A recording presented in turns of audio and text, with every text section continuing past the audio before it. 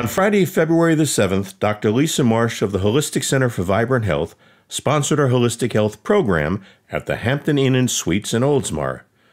Over 100 attended the lecture on life force and a healthy immune system presented by Dr. Brian Clement of the Hippocrates Institute. Prior to the lecture, the attendees had a chance to experience a Holistic Health Expo, where vendors shared products and treatment information. In his lecture, Dr. Clement addressed the 50 years of work on disease and longevity conducted at the renowned Hippocrates Institute. He explained the basic science and extraordinary mechanisms that bring about a heightened and balanced immunity. For information on upcoming holistic health events, please visit the Holistic Center for Vibrant Health website.